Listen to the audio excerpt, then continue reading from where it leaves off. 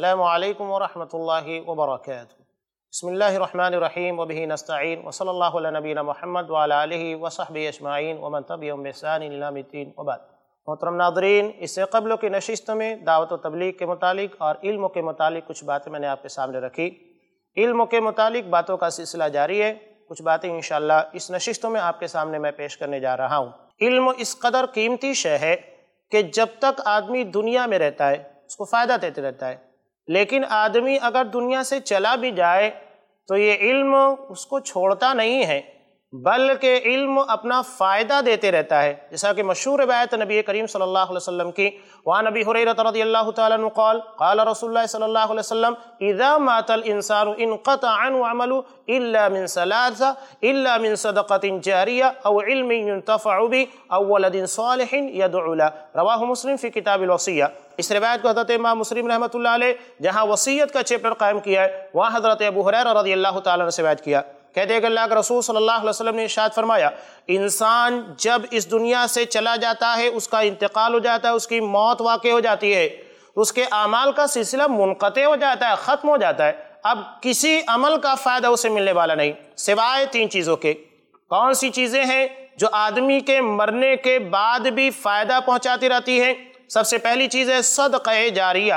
یعنی ایک آدمی نے دنیا میں اپنے مال کے ذریعے مسجد کو قائم کر دیا، مدرسہ بنا دیا یا کسی بھی ویلفر کام میں جس سے انسانیت کو فائدہ ہو رہا ہے، ایسا کام کر کے چلا گیا ہے، تو مرنے کے بعد بھی اس کے اس عمل کا سلسلہ جاری رہے گا، ثواب جاری رہے گا۔ اور سورہ یاسین میں اللہ تبارک و تعالیٰ بڑی پیاری بات کہتا ہے اسی تعلق سے، وَنَكْتُبُ مَا قَدَّمُ وَآثَارَهُمْ وَكُلَّ شَيْءٍ أَحْصَيْنَاهُ فِي إِمَامٍ مُبِينٍ۔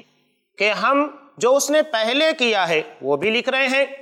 اور جو آثار چھوڑ کر آئے ہیں یعنی اس نے کام چھوڑ دیا ہے، لیکن وہ سلسلہ جاری ہے۔ تو مرنے کے بعد بھی ہم اس کے نامہ اعمال میں اس کے عمل کے ثواب کو لکھتے رہتے ہیں، یہ سلسلہ بند نہیں ہوتا ہے۔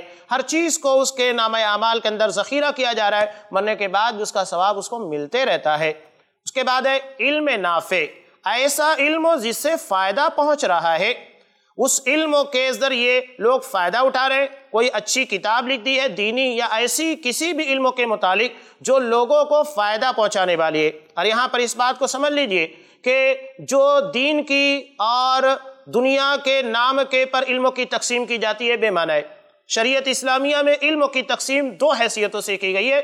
پہلی حیثیت علم نافع کی ہے اور دوسری حیثیت علم غیر نافع۔ یعنی فائدہ پہنچانے والا علم اور نا فائدہ پہنچانے والا علم۔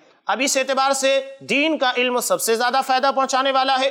اس لیے اللہ کے رسول صلی اللہ علیہ وسلم نے کہا، جیسا کہ بخاری کی روایت میں بھی ہے، خیرکم من تعلم القرآن وعلمہ کہ تم میں کا سب سے بہترین انسان وہ ہے جو قرآن مجید کو سیکھتا ہے اور دوسروں کو سکھاتا ہے۔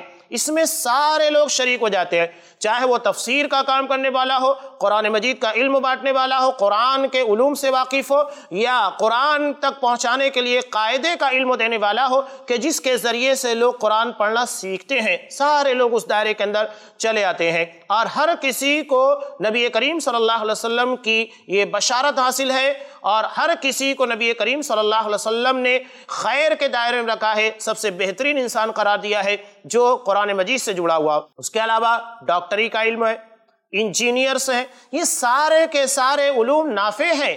انسانیت کو فائدہ پہنچانے والے سارے علموں کا حاصل کرنا ضروری ہے تاکہ دنیا کی ترقی اور دیگر لوگوں کے فائدے کے لیے کام کیا جا سکے۔ نافع الگ ہے، غیر نافع الگ ہے۔ اسی کو تقسیم کیا ہے نبی کریم صلی اللہ علیہ وسلم نے۔ تو آدمی اگر کسی کو سکھا کر گیا ہے، اس کے تلامزہ ہیں، اسٹوڈنٹس ہیں، شاگرد ہیں، جن لوگوں نے اس سے علم حاصل کیا ہے، یقیناً جس علم کو انہوں نے اپنے استاد سے حاصل کیا اس کے انتقال کے بعد بھی یہ سلسلہ جاری رہے گا۔ یہ سلسلہ ختم نہیں ہوتا ہے اور نیک اولاد جو مرنے کے بعد اس کے لیے دعائیں خیر کرتی رہیں۔ اللہ کے رسول صلی اللہ علیہ وسلم نے بڑی پیاری بات کہی، یدعو لہو، اس کے لیے دعائیں خیر کرتی رہتی ہے۔ تو مرنے کے بعد ہمیں تین دنوں تک یا دس دنوں تک، مہینے تک اپنے ماں باپ کے لیے دعا کرے کافی نہیں ہے۔ اللہ کے رسول صلی اللہ علیہ وسلم کہہ رہے یدعو لہو، دعا کرتے رہتی ہے، سلسلہ جاری رہتا ہے۔ ایسا نہیں کہ وہ ختم ہو گیا ہے۔ بلکہ ہمیشہ وہ اپنے ماں باپ کے لیے دعا کرتے رہتے، کبھی بھی اپنی دعائے خیر میں اپنے ماں باپ کو محروم نہیں رکھتے، ہمیشہ ان کے لیے دعائے خیر کرتے رہتے۔ ہیں یہ فائدہ ایک مرنے والے کو اپنی اولاد کی طرف سے ملتے رہتا ہے۔ شرط یہ ہے کہ اولاد صالح ہونا چاہیے، اس کی بہترین تربیت کی دی گئی ہو اور بہترین علم اس کو عطا کیا گیا ہو، جس کی وجہ سے یہ نیک اور صالح اولاد اس کے مرنے کے بعد اس کو فائدہ پہنچاتی رہے۔ اور اپنی دعائے خیر میں اس کو یاد رکھے۔ معلوم یہ ہوا کہ علم نافع ایک ایسی شے ہے جو آدمی کو دنیا میں بھی فائدہ دیتی ہے، مرنے کے بعد بھی اس کا سلسلہ جاری رہتا ہے، وہ ختم نہیں ہوتا ہے۔ لہذا ہمیں علم کے بارے میں بڑا چوکنا ہونا چاہیے۔ اور ابن ماجہ کی روایت بھی ہے، جیسا کہ انہوں نے اقامت الصلاة کے چیپٹر میں حضرت ام سلمہ رضی اللہ تعالیٰ نے سے نقل کیا، یہ کہتی ہیں کہ نبی کریم صلی اللہ علیہ وسلم نماز فجر کے سلام کے پھیرنے کے بعد ایک دعا ہے جو مانگا کرتے تھے۔ بہت عظیم الشان دعا ہے جس کو آپ صلی اللہ علیہ وسلم نے مانگا ہے اور ہمیشہ ہمیں نماز فجر کے بعد ان دعا کا اہتمام کرنا چاہیے۔ کون سی دعا ہے جو آپ صلی اللہ علیہ وسلم مانگا کرتے تھے؟ اللہم انی اسألک علما نافعا ورزقا طیبا وعملا متقبلا کہ میرے پردگار میں تجھ سے نفع دینے والے علموں کا سوال کرتا ہوں اور ایسی رزق کا اور ایسی کمائی کا جو طیب ہو، پاکیزہ ہو اور ایسے عمل کا جسے قبول کیا جائے۔ دعا بہت چامے ہے۔ دیکھیں، پہلے اللہ کے رسول صلی اللہ علیہ وسلم نے علم نافع کا سوال کیا۔ اس لیے کہ علم صحیح ہوگا تو یقینی بات ہے کہ آدمی کا رزق صحیح ہوگا اور رزق صحیح ہوگا تو اس کا عمل قبول ہوگا۔ یعنی آدمی کا اگر رزق صحیح نہیں ہوگا تو پھر اس کی عبادت اللہ قبول کرنے والا نہیں، کوئی عمل اللہ کے مقبول ہونے والا نہیں ہے۔ یہ ضروری ہے کہ آدمی علم صحیح حاصل کرے، علم صحیح کا نتیجہ یہ ہے کہ اس کی کمائی درست ہوگی، اس کا رزق صحیح ہوگا اور رزق صحیح ہوگا تو اس کے عمل کو اللہ تبارک و تعالیٰ شرف قبولیت بخشے گا۔ روزانہ نماز فجر کے بعد یہ دعا مانگنا اس بات کی دلیل ہے کہ علم نافع کی اہمیت کتنی زیادہ ہے کہ اللہ کے رسول صلی اللہ علیہ وسلم نے نماز فجر کے بعد با اہتمام روزانہ اس دعا کو مانگا کرتے تھے۔ ایک اور دعا ہے جو آپ صلی اللہ علیہ وسلم مانگا کرتے تھے علم کے تعلق سے۔ کیا دعا ہے؟ حضرت امام ابو داود رحمۃ اللہ علیہ نے کتاب الصلاة کے اندر حضرت ابو حریر رضی اللہ تعالیٰ نے سے بیعت کیا۔ کہ اللہ کے رسول صلی اللہ علیہ وسلم چار چیزوں سے پناہ مانگا کرتے تھے۔ جیسا کہ حضرت امام ابو داود رحمۃ اللہ علیہ کتاب الصلاة جہاں نماز کا چیپٹر قائم کیا ہے، وہاں حضرت ابو حریر رضی اللہ تعالیٰ نے سے بات کیا۔ وہ کون سی چار چیزیں تھی جس سے اللہ کے رسول نے پناہ مانگی؟ وہ یہ تھی، اللہم انی اعوذ بک من الاربع، من علم لا ينفع ومن قلب لا يخشى ومن نص لا تشبع ومن دعاء لا يسمع کہ میرے پروردگار، میں پناہ مانگتا ہوں چار چیزوں سے۔ وہ چار چیزیں کون سی ہے من علم لا ينفع ایسا علم جو فائدہ نہ پہنچائے، جس کے حاصل کرنے کے بعد بھی آدمی کو کوئی فائدہ نہ ہو۔ اور دوسری چیز جس سے اللہ کے رسول صلی اللہ علیہ وسلم نے پناہ مانگی ہے، وہ کون سی چیز ہے؟ من علم لا ينفع ومن قلب لا يخشى ایسا دل جس میں خشیت نہ ہو، اللہ کا ڈر نہ ہو، کوئی فائدہ نہیں ایسے دل کا۔ تیسری چیز جس سے اللہ کے رسول صلی اللہ علیہ وسلم نے پناہ مانگی نفس کے تعلق سے۔ یعنی اللہ نے دنیا میں جو کچھ عطا کر دیا، اس کے پر وہ راضی نہیں ہے۔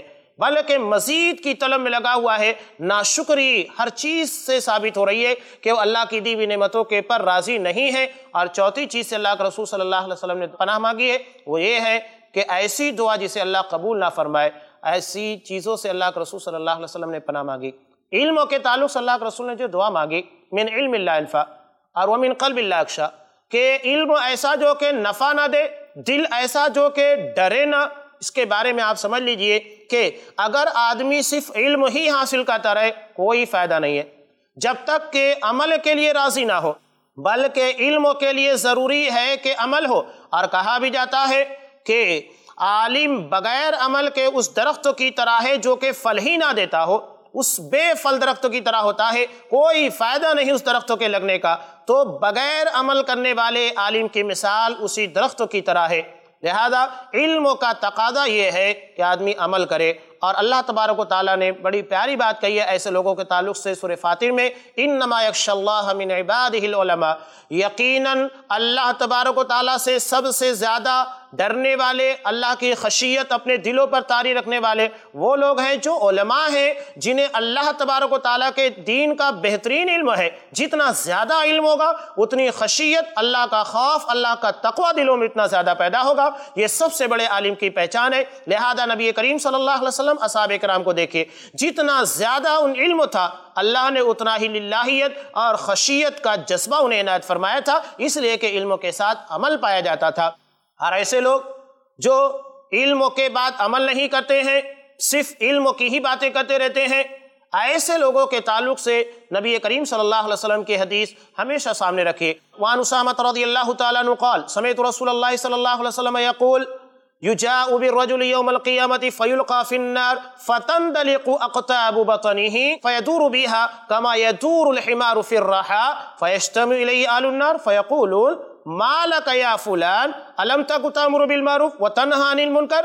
قال كنت آمر بالمعروف ولا آتيه وأنهى عن المنكر وآتيه. رواه البخاری فی کتاب بد الخلق اس روایت کو حضرت امام بخاری رحمۃ اللہ علیہ جہاں مخلوقات کی ابتدا کا چیپٹر قائم کیا ہے، وہاں حضرت اسامہ رضی اللہ تعالیٰ عنہ سے بیعت کیا۔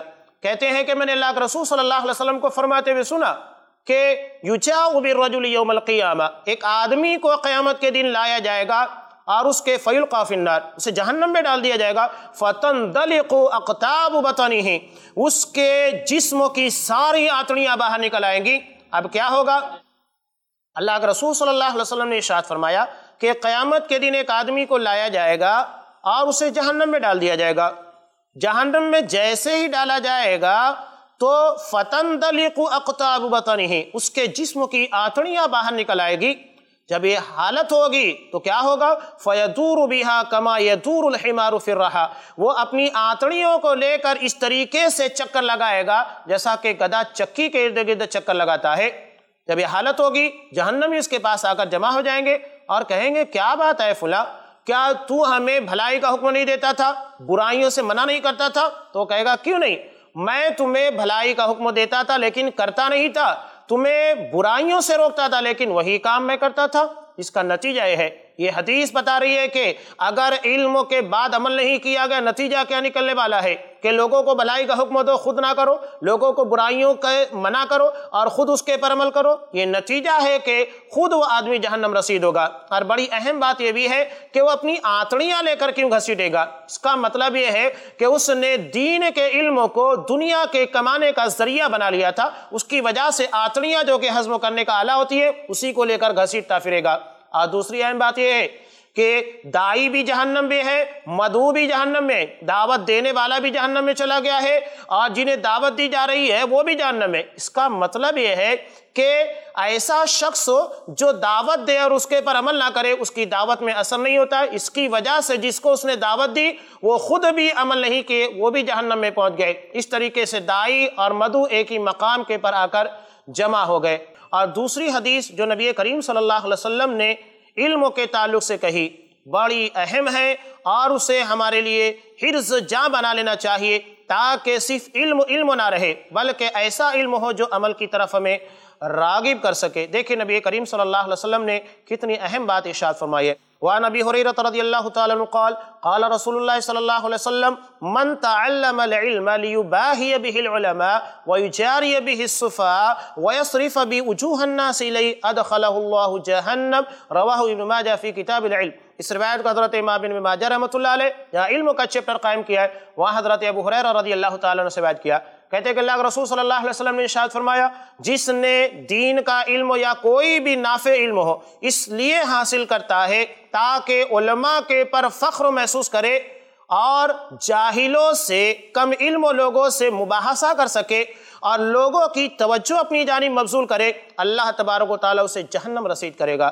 تین اہم صفتیں یہاں پر بتائی گئی ہے آدمی کے بدنیت ہونے کے لیے کہ علم حاصل کرنے کے بعد وہ اللہ کی رضا کا طالب نہیں ہے، بلکہ اس کے ذریعے سے وہ فخر کر رہا ہے۔ جبکہ آپ کو معلوم ہے، قرآن مجید میں سورہ نمل کے اندر ایک بہت اہم واقعے کو نقل کیا ہے کہ حضرت سلیمان علیہ السلام جب ملکہ بلقیس کو اپنے محل میں آوانے کی دعوت دیتے ہیں، تو انہوں نے کہا کہ کون ہے جو ان کے تختوں کو یہاں پر اس کے آنے سے قبل لا کر پیش کر دے گا؟ تو افرید نے کہا کہ اس مجلس کے خاتمے سے قبل میں لے کر آؤں گا، لیکن وہاں پر بیٹھا ہوا ایک شخص وہ کہنے لگا قول الذي عنده علم من الكتاب، جس کے پاس کتاب کا علم تھا، وہ کہنے لگا، انا آتی کبھی قبل ان يرتد اليك طرفك کہ میں اس تخت کو اس سے پہلے لا سکتا ہوں کہ آپ پلک جھپکے، جیسے ہی پلک جھپکے، تخت سامنے موجود تھا۔ اتنا عظیم الشان علم حاصل کرنے کے بعد وہ کیا کہتا ہے ہاضا من فضل ربی، یہ میرے رب کا فضل ہے۔ یہ نہیں کہ اللہ نے اتنا شاندار، عظیم الشان علم عطا کر دیا ہے۔ تو اپنے آپ کو بہت بڑا تصور کرنے لگے، نہیں، بلکہ رب کا شکر ادا کرتا ہے لیے بلونی آشکر مکر میرا رب مجھے آزما رہا ہے کہ میں شکر ادا کرتا ہوں یا ناشکری کا راستہ اختیار کرتا ہوں۔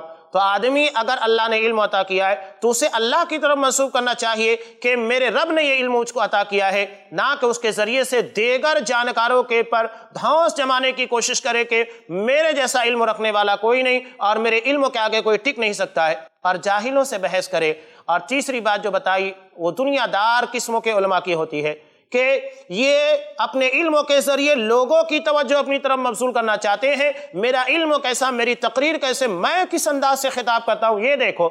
جبکہ اس علم کا اصل مقصود یہ ہونا چاہیے کہ اللہ کے بندوں کو اللہ کی بندگو، بندگی سے روشناس کرایا جائے اور انہیں دین کا صحیح علم عطا کیا جائے اور آخرت کے نجات اور آخرت کی کامیابی کے بارے میں انہیں جوش اور ولولہ دلایا جائے اور انہیں آگاہ کیا جائے، یہ اصل مقصد ہے۔ اگر ان مقصدوں سے ہٹ کر کوئی کام کرتا ہے، تو یقینی بات ہے کہ وہ شخص جہنم کو مستحق ہے، اللہ کی رحمت کا مستحق نہیں ہے۔ اور دوسری اہم حدیث جو آپ کے سامنے نقل کرنے جا رہا ہوں، بہت اہم ہے ایسے علماء کے لیے جو علم رکھنے کے بعد بھی مسئلے کے بارے میں لوگوں کو صحیح پتہ نہیں دیتے ہیں۔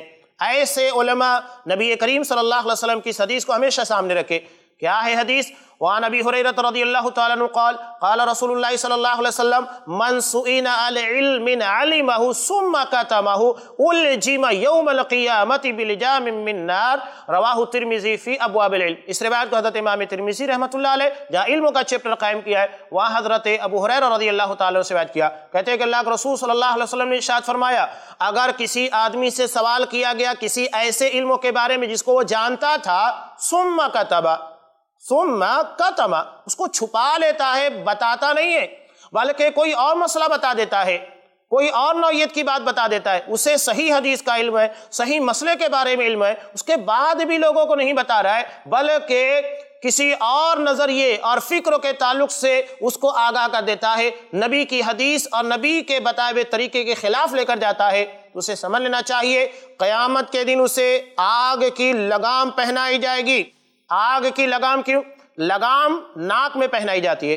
اور آدمی اپنے علم کو اور اس مسئلے کو اپنی ناک کا ذریعہ بنا لیا تھا کہ اگر میں نے صحیح مسئلہ بتا دیا تو آدمی یہ کہے گا کہ حضرت آپ تو اتنے دن سے بات نہیں بتاتے تھے۔ یہ بات اب تم نے کیسے بتا دی؟ لوگ میرے بارے میں کیا کہیں گے؟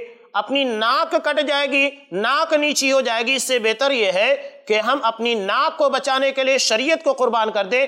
اب جس آدمی نے اپنی ناک بچائی، قیامت کے دن اس کی ناک میں ہی لگام ڈالی جائے گی کہ جس ناک کے لیے، عزت کے لیے تو نے جھوٹی عزت کے لیے کام کیا تھا، اس جھوٹی عزت کا قیامت کے دن کیا حشر بننے والا ہے؟ یہاں میں کچھ اور باتیں آپ کے سامنے نقل کرنے جا رہا ہوں۔ اسی ضمن میں کہ علم کے ہونے کے بعد آدمی کو صحیح رہنمائی کرنا چاہیے۔ اور اگر علم نہیں ہے تو قطعاً بھی علم کے بارے میں باتیں نہ کرے مسئلے کو نہ بتائے بلکہ اس مسئلے کے تعلق سے دوسروں کے جانب متنبع کر دے یا بعد میں پوچھ کر دوسروں سے بتائے قرآن مجید بھی اس تعلق سے بڑی اہم بات کہتا ہے سورہ کہف میں۔ قرآن نبی کریم صلی اللہ علیہ وسلم کو خطاب کر کے امت کو متنبع کر رہا ہے۔ کیا ہے؟ وَلَا تَقُولَنَّ لِشَيْءٍ فَاعِلٌ ذَلِكَ غَدًا إِلَّا يَشَاءَ اللَّهُ۔ کہ آپ کسی مسئلے کے بارے میں ہرگز نہ کہنا۔ کہ میں کل یہ کام کرنے والا ہوں، مگر یہ کہہ دینا انشاءاللہ یعنی اللہ نے چاہا تو میں یہ کام تمہیں کر کے دکھا دوں گا، اللہ کی مشیت کے تابع اس کام کو کرنا چاہیے۔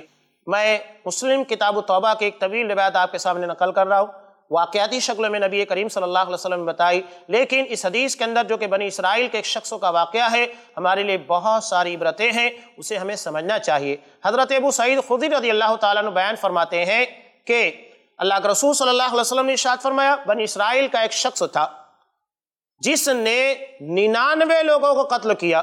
اب ننانوے لوگوں کو قتل کرنے کے بعد وہ لوگوں سے سوال کر رہا ہے۔ کیا سوال کر رہا ہے؟ سب سے زیادہ جانکار اس کے بارے میں اس نے سوال کیا۔ اب سوال کرنے کے بعد لوگوں نے کیا کہا؟ فت اللہ علیہ راہبن وہ سوال کر رہا ہے سب سے بڑے عالم کا کہ روئے زمین کے پر کون سب سے زیادہ علم رکھتا ہے شریعت کا؟ مجھے پتہ بتائیے، میں نے بہت گناہ کیے ہیں۔ شریعت اس بارے میں مجھے کیا کہتی ہے؟ کیا رہنمائی کرتی ہے؟ میں اس کو جاننا چاہتا ہوں۔ اب اسے بتا دیا گیا پتہ کس کا؟ پتہ عالم کا پوچھا گیا اور بتایا گیا راہب کا۔ عالم اور راہب میں بڑا فرق ہوتا ہے۔ عبادت گزار بزرگ آدمی کا پتہ بتا دیا گیا۔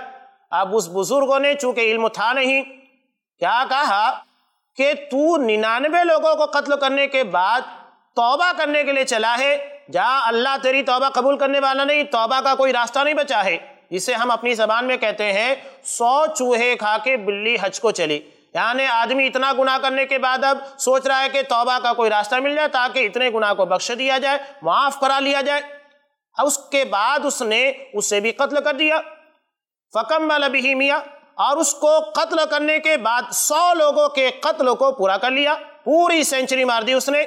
اب اس کے بعد بھی اس کا نفس اسے آمادہ کر رہا تھا اور کچوکے مار رہا تھا کہ تو نے جو کام کیا ہے، سو لوگوں کا مرڈر کیا، خون کیا ہے، یہ صحیح نہیں ہے۔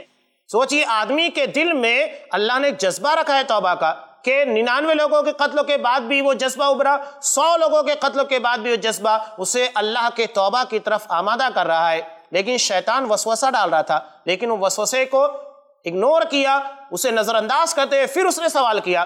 کہ زمین کے پر کون سب سے زیادہ علم حاصل کرتا ہے؟ کون شخص ہے جس کے پاس شریعت کا سب سے زیادہ علم ہے؟ جب اسے پتا بتایا گیا، اب صحیح پتا بتایا گیا۔ فت اللہ علیہ ایک بہترین عالم کا پتا بتایا گیا جو شریعت کا بہترین جانکار تھا۔ جب اس نے کہا کہ میں نے سو لوگوں کو قتل کیا ہے، کیا میرے لیے توبہ کا راستہ کھلا ہوا ہے؟ اس نے کہا کہ کیوں نہیں؟ اللہ اور تیرے توبہ کے درمیان کون سی چیز آئے ہے؟ لیکن ایک کام کر۔ تو توبہ کرنے کے بعد اس سرزمین کو، اس بستی کو چھوڑ دے اور نیک لوگوں کی بستی میں چلے جا، جہاں پر بہت اللہ کے نیک بندے ہیں۔ ان لوگوں کے ساتھ جا کر عبادت کر تاکہ تیرا ماحول تبدیل ہو جائے۔ اب یہ وہاں سے چلا۔ آدھا راستہ طے ہوا تھا کہ اللہ تبارک و تعالیٰ نے اس کے پر موت کا فیصلہ کیا۔ اب وہاں پر عذاب اور رحمت دونوں کے فرشتے آ کر جمع ہو گئے۔ اور رحمت کے فرشتوں نے کہا کہ اللہ تبارک و تعالیٰ کی طرف توبہ کرتے ہوئے، اللہ کی طرف رجوع کرتے ہوئے یہاں آ رہا تھا۔ اس لیے اس کی روح کے نکالنے کے ہم مستحق ہم لے جانا چاہتے اس کی روح کو۔ عذاب کے فرشتوں نے کہا کہ اس نے کوئی خیر کا کام کہاں کیا ہے؟ اس لیے ہم اس کی روح کو لے کر جائیں گے۔ اب اللہ نے ایک تیسرے فرشتوں کو انسان کی شکل میں بھیجا، اسے ان لوگوں نے اپنا جج بنا لیا۔ اب اس نے فیصلہ یہ کیا کہ زمین کو ناپا جائے۔ جس زمین کے قریب نکلے گا، اس کے حق میں فیصلہ کر دیا جائے۔ برے لوگوں کی بستی کے قریب نکلے، تو برے لوگوں کے ساتھ اس کا حشر ہونا چاہیے۔ نیک لوگوں کی بستی کے قریب نکلے، تو نیک لوگوں کے ساتھ اس کا حشر ہونا چاہیے۔ زمین ناپی گئی، تو پھر نتیجہ نکلا کہ وہ نیک لوگوں کی بستی کے قریب تھا، تو اس کے حق میں فیصلہ کر دیا گیا۔ اور اس روایت کے بیان کرنے والے حضرت حسن بصری رحمۃ اللہ علیہ کہتے ہیں کہ جب اس کی موت کا وقت قریب آیا، نہ آب صدری ہی، وہ اپنے سینے کے بل گھسٹ کر آگے بڑھ گیا تھا اور وہی اتنا آگے بڑھنا اسے اللہ کی رحمت کے دائرے میں لے کر آ گیا۔ دیکھیں اب ایک بزرگ و شخص، جس کے پاس شریعت کا علم نہیں تھا، اب اس نے نادانی علم کے نہ ہونے کے باوجود فیصلہ کر دیا کہ تمہیں توبہ نہیں ہونے والی ہے۔ اب کیا ہوگا کہ اللہ تمہیں معاف کرنے والا نہیں؟ اس کا نتیجہ کیا نکلا کہ ایک توبہ کرنے والے کی توبہ کے درمیان حائل ہو گیا اور نتیجہ یہ نکلا کہ اس کی جان بھی چلی گئی۔ یہ دوسروں کے لیے رکاوٹ پیدا کر رہا تھا، خود اس راستے کی رکاوٹ بننے کی وجہ سے اس کو بھی ہلاک کر دیا، اس کا بھی قتل کر دیا۔ تو یہ نتیجہ نکلتا ہے، بغیر علموں کے کبھی فتویٰ نہیں دینا چاہیے۔ اور اس حدیث کے اندر ایک اہم بات یہ بھی ہے کہ آدمی کو تقوی اختیار کرنے کے بعد بقائے تقوی یعنی تقوی حاصل ہو گیا ہے، آدمی متقی بن چکا ہے تو اس تقوی کو سنبھالنا بھی بہت ضروری ہے۔ ماحول کا بہت زیادہ اثر ہوتا ہے اور آدمی کی سنگت کا بھی۔ سوچئے کہ وہ کیسی بستی تھی جہاں ایک آدمی سو لوگوں کو قتل کر چکا ہے، لیکن کوئی اس کا ہاتھ پکڑنے والا نہیں، کوئی اس کو بولنے والا نہیں ہے کہ تو نے اتنا قتل کیوں کیا۔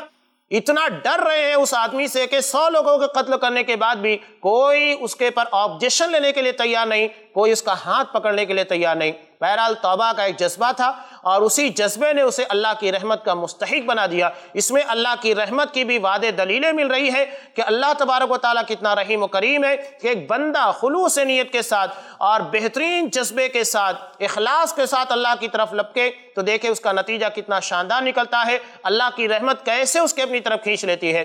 اور ساتھ ہی ساتھ یہ بھی معلوم ہوتا ہے کہ آدمی کو نیک لوگوں کے ساتھ رہنا چاہیے اور نیک لوگوں کے ساتھ رہنے کی وجہ سے اس کے پر بہترین اثرات ہوں گے، وہ اپنی نیکی کو بچا بھی پائے گا، اس کے ماحول بھی اچھے رہنے والے ہیں، جس کے نتیجے میں اس کی زندگی بھی سنور جائے گی، اللہ کی رحمت کا مستحق بھی اپنے آپ کو ثابت کر پائے گا۔ محترم ناظرین علم کے تعلق سے ہم نے اس ایپیسوڈ میں، اس نشست میں کافی اہم باتیں سنی ہیں، میں نے آپ کے سامنے رکھنے کی کوشش بھی کی ہے۔ مزید باتیں ابھی اور رہ گئی ہے ہم نے علم کے تعلق سے جانا۔ کہ علم کے بعد عمل کی ضرورت پیش آتی ہے، بغیر عمل کے آدمی کا علم و معنی ہے۔ اللہ کے رسول صلی اللہ علیہ وسلم علم کی دعا مانگا کرتے تھے۔ علم نافع اور غیر نافع، یہ شریعت کی تقسیم ہے۔ اور اس کے بعد مزید کچھ باتیں جو علم کے اہم نکات کو واضح کرنے والی ہے قرآن نے علم کے تعلق سے اور کیا باتیں کہی ہیں؟ انشاءاللہ یہ باتیں اگلی نشستوں میں آپ کے سامنے رکھی جائے گی۔ اس نشستوں کا ٹائم ختم ہو چکا ہے، وقت مکمل ہو چکا ہے۔ انشاءاللہ اگلی نشستوں میں آپ لوگوں سے پھر ملاقات ہوگی۔ تب تک کے لیے مجھے مجھے دیجیے اجازت۔